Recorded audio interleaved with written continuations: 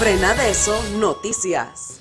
A la comunidad nacional e internacional, las organizaciones integrantes de Frenadeso, Suntrac, FER 29, Mocona, CONUSI, ASOPROF, los trabajadores del canal, los estudiantes de todo el país, anunciamos nuestra participación en los desfiles patrios de este mes de noviembre.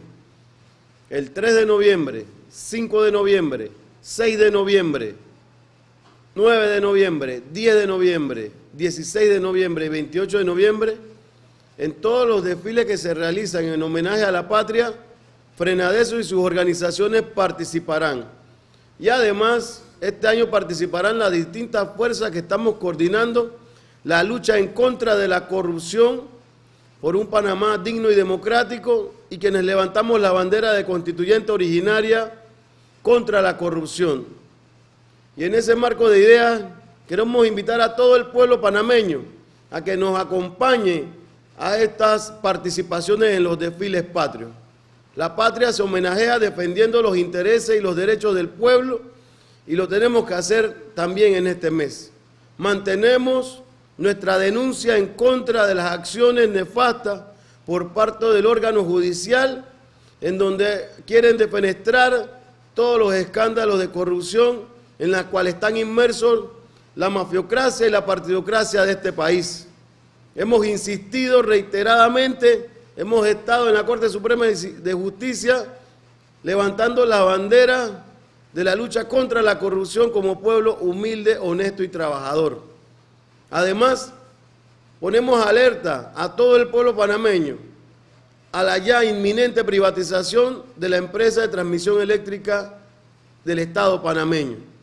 Vamos a seguir en las calles. El mes de noviembre se nos presta para esto, pero asimismo vamos a seguir haciendo conciencia.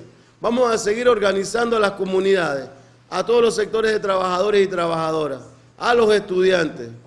Y tengan presente que nuestra lucha es en función de que se garantice la democracia real, la justicia social y que se cumpla con los derechos del pueblo panameño. Reiteramos, 3 de noviembre, 7 de la mañana, Parque Catedral, nos concentramos las organizaciones del Movimiento Popular para participar de los desfiles donde se ya conmemoran 114 años de la separación de Panamá de Colombia. Y además, en ese marco de ideas, estamos convocando a todas nuestras fuerzas y al pueblo panameño a que seamos parte de la gran acción continental, la jornada continental en contra del neoliberalismo y por la democracia en América Latina y el Caribe. Este es un gran esfuerzo de todas las organizaciones del Movimiento Popular de América, donde denunciamos los tratados de libre comercio, los tratados de promoción comercial, los tratados TISA también, y todos los mecanismos de dominación y explotación del imperialismo y del capitalismo salvaje, y que tendrá su momento culminante el 16 de noviembre, 17 de noviembre en Montevideo, Uruguay. Nuestras organizaciones CONUSI, Suntrac, Frenadeso, FER 29, Mocona, también somos parte de esa gran jornada y también exhortamos a que estemos al tanto y vamos a tener también nuestra participación en ese espacio continental. Así que una vez más, pueblo panameño, a homenajear a la patria en las calles, organizadamente, participando en los desfiles patrios y seguir la denuncia en contra de los corruptos, en contra de la corrupción, en contra de la mafiocracia y la partidocracia. El día de ayer, las organizaciones populares, como Frenadeso, los trabajadores de la Coca-Cola, los trabajadores de la universidad, volvimos a la Corte Suprema de Justicia en horas de la mañana.